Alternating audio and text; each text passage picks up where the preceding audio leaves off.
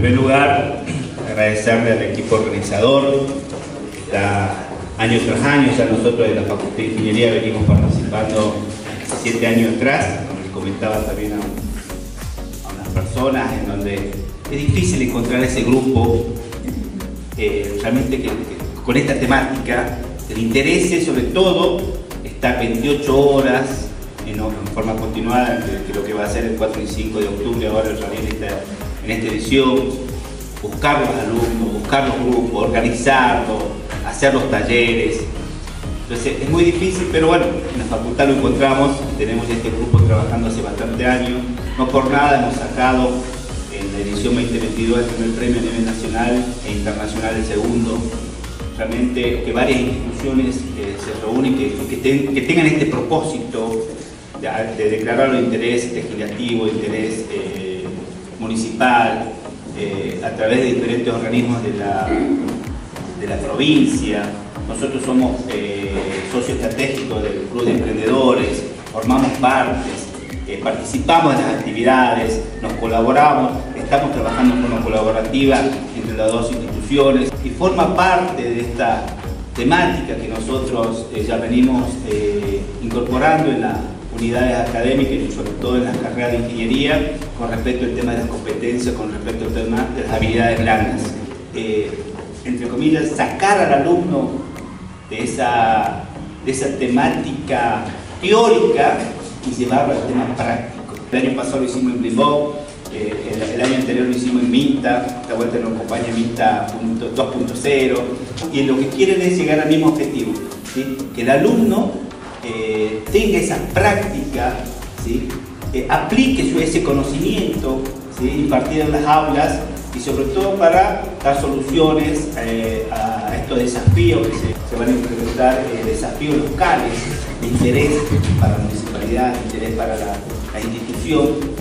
Muy agradecido al grupo organizador, muy agradecido al grupo de la municipalidad y a todas las instituciones privadas y estatales que forman parte, participan varias universidades, nosotros somos sede ya de hace siete años, eh, a nivel nacional, son todas las facultades de ingeniería, la mayoría, y bueno, también es, hay que destacar que hay universidades a nivel internacional, son varias también que forman parte de estos, y a resolver estos desafíos. Muy agradecido y bueno, esperemos que sea fructífera esta jornada a través del Club de Emprendedores este, nosotros ponemos el lugar, vamos a ser sede una vez más de este gran evento. Lo que más nos gusta es esto, de que el ecosistema emprendedor cada vez toma más relevancia, toma más protagonismo y, también este hecho de que puedan los alumnos venir al Club de Emprendedores, que puedan venir a conocer el espacio, que puedan venir a adoptar este espacio como suyo para que, para que no solamente sea una cuestión de un evento o, que puedan venir y participar en las 28 horas de trabajo intensivo dentro del club, sino que empiecen a ver que todas las instalaciones, que es una premisa tanto de la Secretaría de Planificación y Ambiente como de toda la municipalidad, este, son verticales, la innovación son verticales, el hecho de poder dar este, respuesta a la problemática de la sociedad y qué mejor que hacerlo con alumnos que, vienen a, tratar de encontrar soluciones a esa problemática. Si bien nosotros somos socios de la universidad, somos socios de la Facultad de Ingeniería, este, de manera estratégica venimos trabajando juntos, siempre todos estos eventos marcan y hacen más fuertes esos lazos. Contentos de tener nuevamente eh, acá en el club y algunos desafíos que como municipio nos gustaría que se trataran. Eh, por ejemplo, cómo utilizar la tecnología para la preservación de nuestra biodiversidad. Nosotros tenemos el 2%, que son eh, la superficie de las yungas respecto a la superficie de la nación, más del 50% de la biodiversidad de la Argentina. Entonces, poder tener eh, poder proteger esta biodiversidad para nosotros es muy importante y hacer foco en lo que es Ciudad Verde.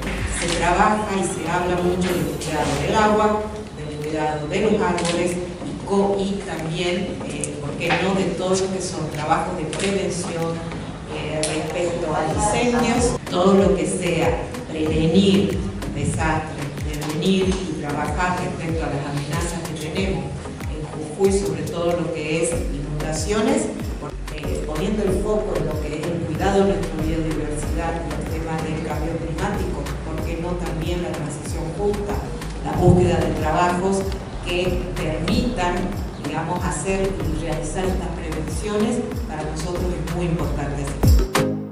Lo que es todo el Jardín Latinoamericano de Innovación es una competencia por equipos de 28 horas, donde cada equipo tiene que presentar una solución a un desafío que no se conoce. Nosotros en la hora cero recién conocemos el desafío y hay que presentar los entregables, los cuales son este, un video pitch de dos minutos, cada vez para checar más.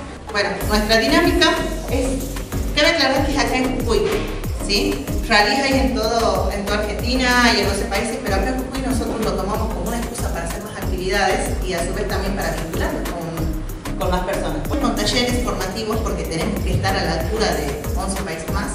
Entonces, iniciamos con, eh, con cuatro talleres formativos y después hacemos un entrenamiento que es el 27 de septiembre. Por último, el 4 y 5, donde nos presentamos a una competencia simultánea con los 11 países. ¿Sí? El lugar será el Cinema Shopping. ¿Sí? Comenzamos con el primero, gestión de proyectos 4.0, la era de la IA. ¿Sí? Lo da una consultora que es SDC, ¿sí? que está siendo, eh, siendo experta porque es administradora de negocios digitales y lo va a estar dando el 28 de agosto. ¿sí? El segundo taller, Silvina Figueroa, licenciada en medios visuales, ¿sí? ella va a estar dando eh, pitch y oratoria del dúo perfecto. ¿sí? Vamos a tener dos horas de esta temática en donde los chicos van a aprender a, mejorar sus efectos de la voz. ¿Para qué? Para dar el discurso completo y el guion que necesitan para el. Después va a estar Esteban Morales, que es un estudiante de la carrera de videojuegos, que es una de las carreras de nuestra institución. Justamente acá está el director, que va a apoyar con toda la parte técnica de ese.